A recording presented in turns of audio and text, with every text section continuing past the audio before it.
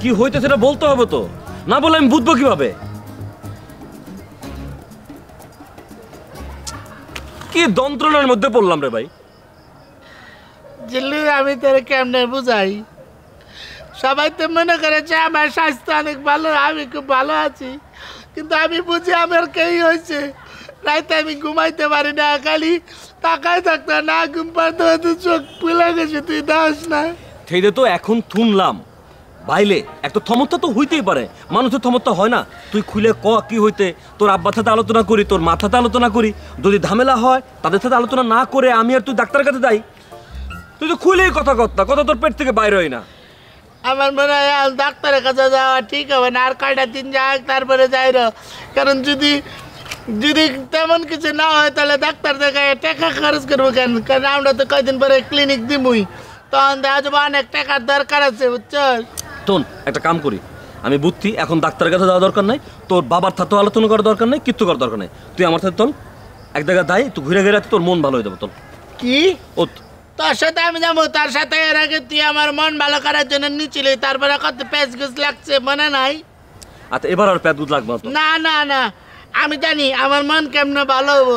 আমার মন কেমনে ভালো হব শরীর কেমনে ভালো হবে এটা তোর সাথে আমি ভালো জানি। আমি নিজে নিজে মন ভালো করব তাও তার সাথে যাব না। তাহলে প্যান প্যান করত কি লেগে? এই এই মন্নান।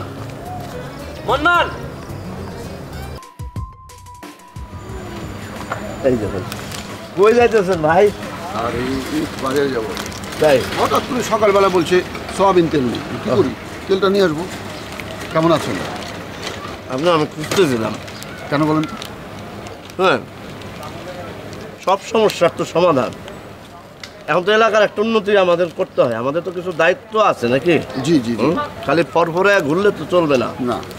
সেই জন্য বলছিলাম যে আমরা আসলে কি করতে পারি সেটা আপনার সাথে একটা প্ল্যান করে যে যারা ইয়াং জেনারেশন আছে আমাদের স্যার যাদের বয়স কম তাদেরকে নিয়ে বসে আমরা একটা কিছু করতে পারি কিনা?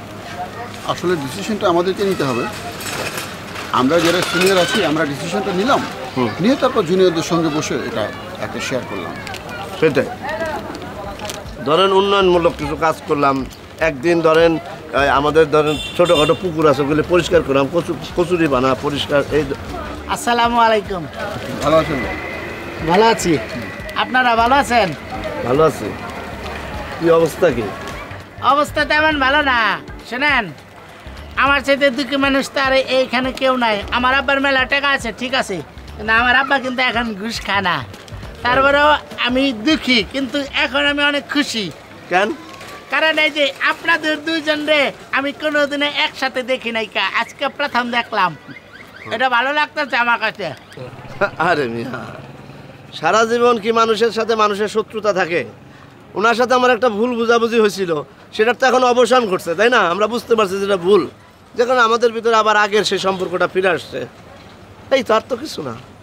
ভাই আপনাদের মতো যদি আমগো সারা দেশের মানুষ এরকম করে চিন্তা করতো তাইলে আর কিন্তু এই যে আমগো এলাকার ভিতরে মারামারি থাকতো না সারা দেশে কোনো মারামারি হানাহানি থাকতো না।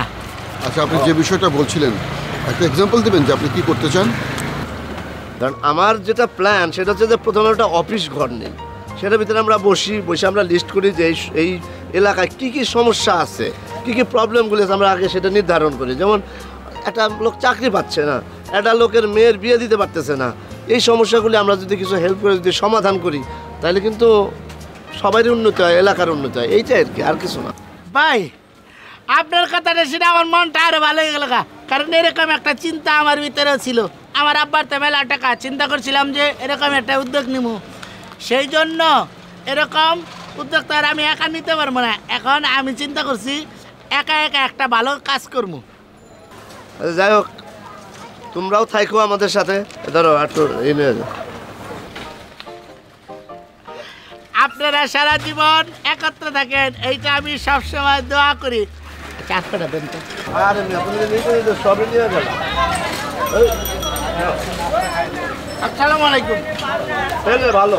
ছেলে ভালো মাথা ভর্তি গোবর এই যাই হোক।